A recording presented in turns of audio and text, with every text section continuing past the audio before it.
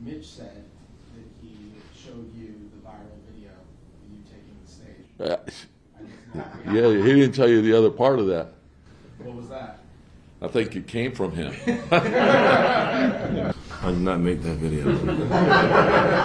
he kept blaming me. I'm like, I ain't making it. I just thought it was funny, so I wanted to share with you. You know, I don't think he take jokes like that.